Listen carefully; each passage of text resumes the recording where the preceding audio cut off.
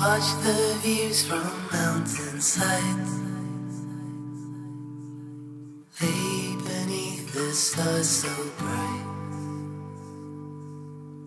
And as the day fades into night, we'll write our plans by candlelight.